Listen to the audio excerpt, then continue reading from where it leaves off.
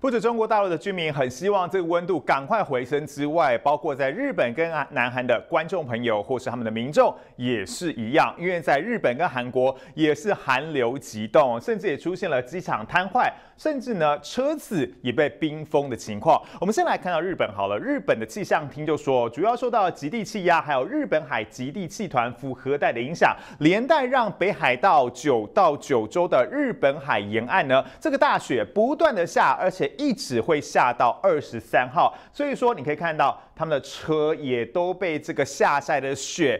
给封起来了，当然在交通方面造成了非常大的影响，而且光看这个图片哦，残雪的画面就发现说这个雪也太厚了吧。包括在日本的降雪量，我们统计到今天下午五点钟为止，北海道积雪最厚最深，来到了七十三公分，新系还有这个岐阜以及福井，其实也都在五十多公分到七十公分左右哦，其实都可以感受到这个积雪已经淹到你的小腿肚，当然对整个交通啊都是有。非常重大的影响。再来另外一个地方，我们要来看到是南韩哦，南韩真的是整个都市里头就像冷冻库一样，因为呢大雪加强风，让大家体感温度明显偏低，甚至实际的气温来看，大家最喜欢去的首尔零下的十四点七度，还有江原道零下二十一点五度，甚至呢其实。就算以高温的情况来看啊，好像也没有高到哪里去哦。全境的最高温是零下的二度到零下九度，真的非常冷。甚至呢，这样子的寒冷也影响到了空中交通，因为机场处于一个停摆情况。像是韩联社的资料就说了，济州国际机场跑道紧急关闭，一直到下午的四点钟，长达了七个小时又四十分。当然，很多的航班都是停摆的，像是有两百七十七架的班。次停飞有四班延迟，主要呢，因为大雪让整个只要跑道上，其实只要有微微的积雪，就会让这个驾驶哦，机长是看不到前方的这个相关的指标，所以说贸然的起飞的话，绝对会是非常危险的。再加上飞机停在地表上，是很有可能极也出现结冰状况，也需要进行处理很多的。这个乘客就说了，这个航空公司怎么没有主动联系呢？也不知道什么时候才能起飞，也造成了很多人行程上也出现了打劫情况。不过，刚刚我们提到说，南韩的济州机场因为天候问题，陷入到了一个几乎可以说是停摆的状况。目前统计出来，大概会有七千五百名的旅客受到影响。南韩街头民众包得紧紧的厚重羽绒衣全部穿上身，因为实在太冷了。全国各地都出现摄氏零下的极冻低温。오전6시기준으로강원산간의아침기온은영하25.4도까지곤도박질쳤습니다 찬바람이세례도하며체감온도는새벽한때영하39도를기록했습니다首尔也冷到令人受不了，温度下探到负十四度，但由于寒风阵阵刮来，体感温度竟然是零下二十五点八度 C。居民都说很像受困在冷冻库里，甚至还传出多地的水表冻到坏掉。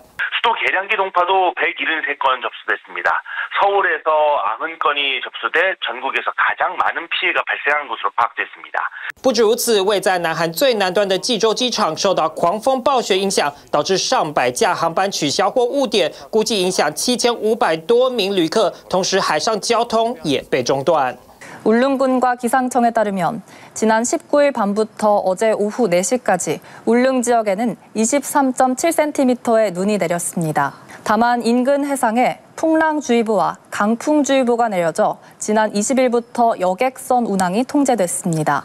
低温又暴雪，南韩中央灾害安全对策本部则宣布继续维持在二级紧急状态。至于日本。 同样遭遇今年入冬以来最强寒流侵袭，从北方的北海道到南方的九州，通通受到暴风雪袭击。知名景点岐阜县白川村降雪量高达五十二公分，变成一片银白世界。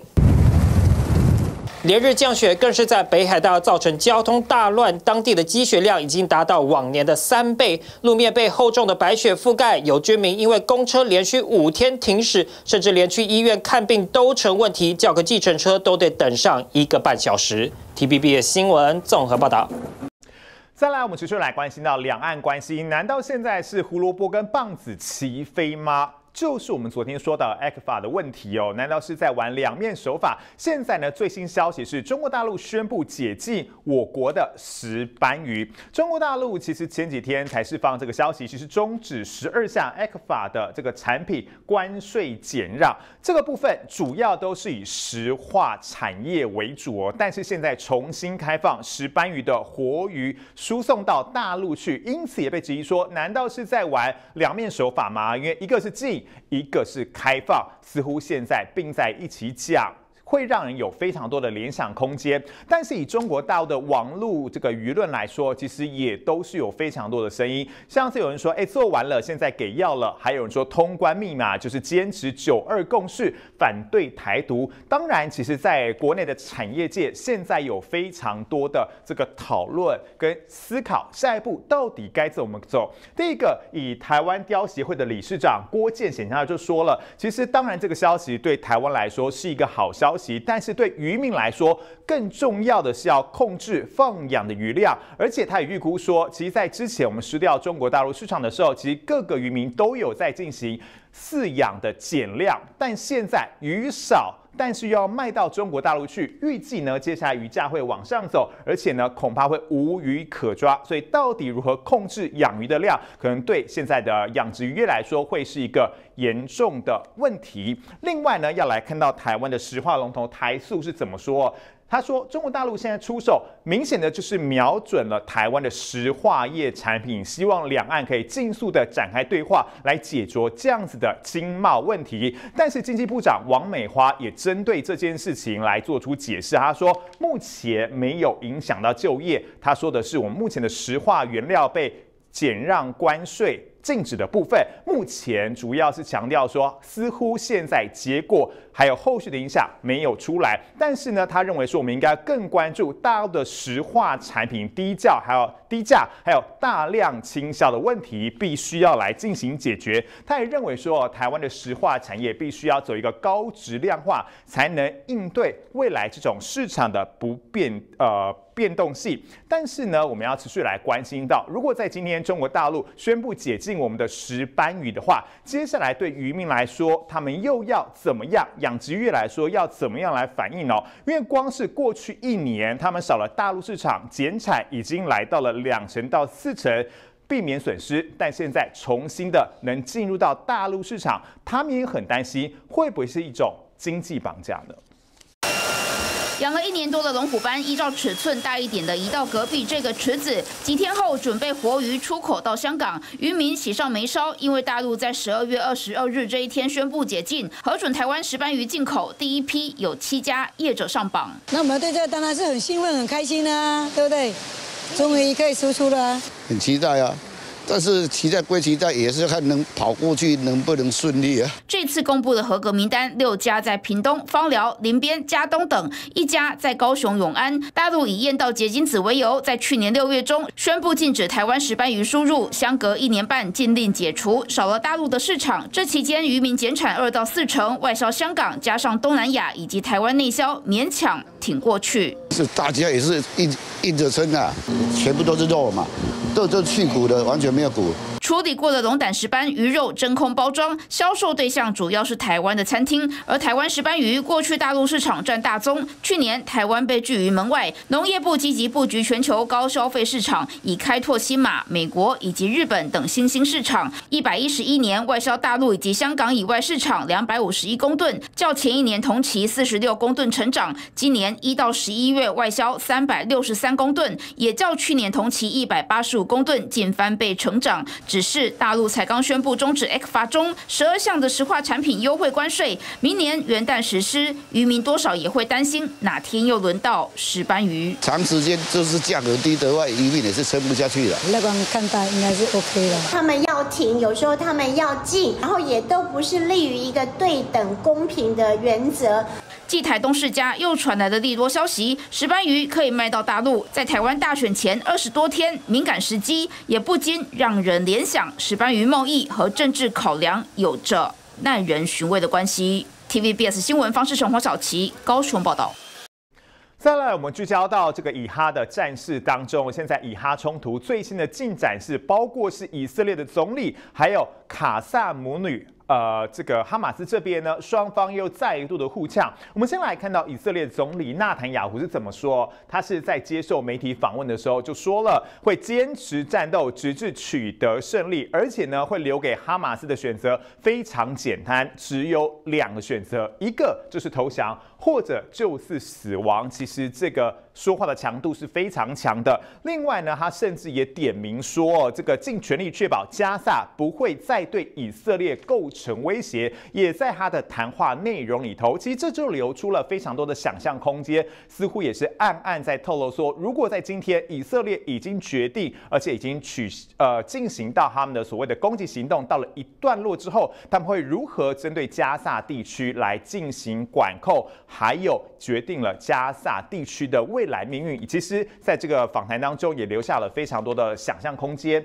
再让，我们来看到卡萨母女的发言人奥贝达他是怎么说？其实以巴勒斯坦来说，长期受到以色列压迫状况之下，是别无选择，只能复仇或是抵抗。而且呢，他也说了，以如果真的双方想要逐渐的。迈向和平的态势来说，他们希望已经被压的这个巴勒斯坦人可以全部获释，而且所有的以色列人质也能获得释放。所以说，以色列需要停火及谈判。所以说，人否则人质不可能活着获释。等于说，其实以哈马斯的态度来讲，也是非常强硬。所以目前看起来，这场以哈冲突还没有看到尽头的可能性。现在甚至有传言指出，哈马斯在海外是大举征兵，锁定黎巴嫩，准备成立了洪水先锋部队。另外，根据美国掌握的情资，整个哈马斯在国际上的形象是由黑翻红，甚至他们更担心说，会不会助长？其他的偏激以及恐怖组织助长国际恐攻的事件发生。以色列台拉维夫周四再度响起空袭警报，空中传来铁穹拦截哈马斯火箭的爆炸声。Another day in Israel, another round of rocket fire. Hamas targeting Tel Aviv with a barrage of rockets from Gaza. Israeli media reporting some 30 rocket interceptions by the Iron Dome. 法国上议院的议长拉谢刚好访问当地，空袭打断他跟以色列在野党的会议，赶紧转移到避难所。幸好这波空袭没有传出伤亡，哈马斯至今还是有能力发动火箭袭击，甚至打算在以色列北方邻国黎巴嫩招兵买马，成立名为阿克萨洪水先锋队的武装力量。传出许多黎巴嫩人义愤填膺想加入，但是统治势力却极力劝阻。في رفض لبناني عارم من كل الفئات من كل الطوائف. لهذا الموضوع لانه لا نريد عوده الى الى الوراء 听得出对哈马斯心有忌惮，这是因为哈马斯在国际间的影响力不减反增，就连美国的情资也提出警告。Analysis suggests that Hamas's influence and power may be gaining outside of Gaza. The fear is among U.S. intelligence agencies that this risks inspiring terrorism abroad. 毕竟哈马斯仍是西方国家眼中的恐怖组织，没有想到加萨死伤却引发国际。 同情扭转哈马斯的负面形象。Because the byproduct, as we've seen, is massive civilian casualties. So you're now increasing popular support and sympathy not only for the Palestinian cause but for Hamas. 欧盟本月初也提出警告，耶诞假期要特别当心恐攻风险。体育选做不到。再来，我们来看到一个救援情况，这个是挪威的极地游轮莫德号，由于呢在他们航行的时候遇上了风暴，连带巨浪吹进了这个剑桥的窗户，把它吹破了，也让水进到轮船的一些机组，连带导致了导航系统还有雷达都是处于失灵的状况，所以。整个船上包括总共有三百九十七人，机组人员一百多人，还有乘客大概是两百多人，只能在这个轮船上随着巨浪载浮再沉。而且呢，相关的机组人员也只能紧急的把所有的方式改由手动操作，才能勉强让这个引擎来恢复运作。不过现在他们是急需要救援哦。目前的状况来说，救援的船只已经到达现场了。这些船上的人员包。括这个。工作人员还有旅客都会被改撤到另外的支援船只上，还有这一台这一辆这个极地游轮莫德号就会被拖到了港口，现在持续的在进行救援当中。另外，大家也非常关心的就是昨天发生的海虎潜舰意外哦，在昨天传出了。官兵落海情况，目前当时下海呃落海的有六名官兵，但是还是有三名的官兵依旧是下落不明，而现在相关人员也持续的在搜救当中。海军三名官兵落海下落不明，军方出动搜救机，空勤总队也出动直升机搜索。五艘军舰、三艘巡防舰和两艘巡防艇持续搜索不放弃，因为碰上寒流低温，救人刻不容缓。风浪过大，造成安全锁撕裂。海军原本说是官兵的安全锁撕裂，后来强调安全锁没有断裂，而是变形松脱，才导致人员落水。二十一号中午，海虎舰正在进行潜航过程当中，突然发现救难浮标盖板松动，舰长下令浮航，派出官兵到甲板检修。分三批上了甲板之后，啊，总共陆续有六员落水。当时共有三梯次登板，第一梯次两人进行检修，但涌浪打来，两人不慎落海。第二梯次大约五六人上甲板救援，但救援人员也被海浪打落。前后六人落海，再派出第三梯次人员抢救，总共十一人登上甲板，结果三人获救，三人失踪。获救的三人二十二号清晨才抵达本岛，其中有五名官兵紧急送到海总急诊，四人擦挫伤没有大碍，不过有一人手部骨折，疑似在船舱中受到剧烈撞击，需要紧急开刀。右手的第三指的开放性骨折，第四指的闭锁性骨折，需要接受手术。军方强调，落海的官兵都有穿新式的救生衣，陆海空全面出动救援，分七大区块搜索，每四小时依洋流及潮汐变化调整范围，与时间赛跑，期盼能尽速找到失联的三名官兵。TVBS 新闻艾昭贤高雄报道。TVBS 新闻直播回到 YouTube 频道了，提醒您每周一到周五的晚间七点到九点，由新化主播为各位新闻划重点，记得一定要来参加直播。